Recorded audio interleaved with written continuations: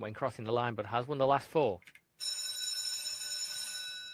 Red hot form, it's fair to say, Leos Dog. But here we go. Racing, racing, racing, and six Osterg started really well, but faces opposition from the inside for the lead. Bubbly Maniac and five wins the race to the first bend. Six not used to chasing, but it's five out of six, followed by one, two, four, and three down the back straight. Bubbly Maniac in a real top position here. In charge by three lengths. Six fades away slightly, and now one and two put their challenge in. Two trot on six, and they lose momentum. It's one there, but five has been left clear. Trap five coming home, Bubbly Maniac. One closes, but five beat one and three. Five, one, three. Challenge of Leo Sturg was virtually curtailed by the two, I think it was.